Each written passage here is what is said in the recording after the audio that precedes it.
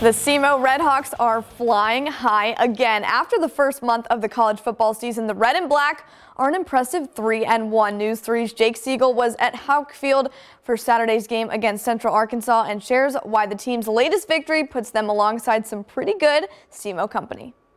It wasn't a pretty win, but a gritty win as SEMO moves to 3 and 1 on the season following an 8-point victory over Central Arkansas.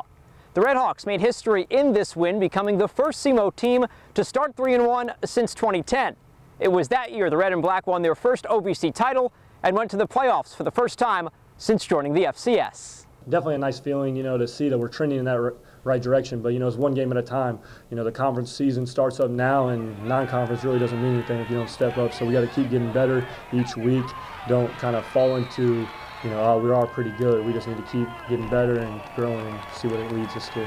The past is the past, man. Like, that doesn't mean nothing to us. That was the 2010 team. We the 2022 team.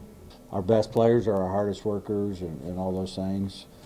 But I think the, the thing that may make us really hard to beat is we don't have a major flaw. With more than a decade since that historic 2010 season, this year's team believes they can compete with anybody.